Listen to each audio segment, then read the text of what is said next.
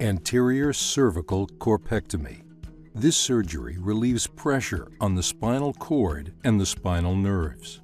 It involves the removal of bone and discs from your cervical spine, followed by a fusion. In preparation for the procedure, you lie on your back. You are anesthetized. The surgeon creates an incision on the front of your neck. The structures within your neck are carefully moved aside to create a path to your spine.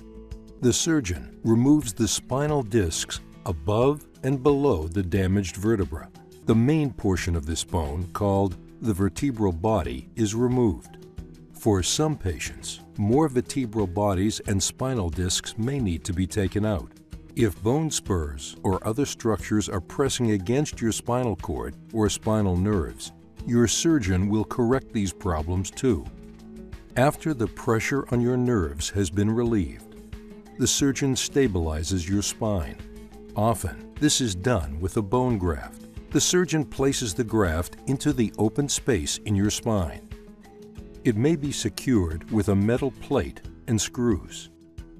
Instead of a graft, your surgeon may choose to use a device such as a cage.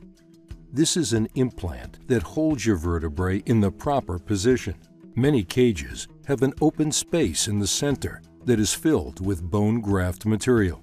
When the procedure is complete, the incision is closed. You may be placed in a neck brace. In the weeks after the surgery, new bone will grow and attach securely to the graft or implant. This will create a permanent fusion. You may benefit from physical therapy as you heal.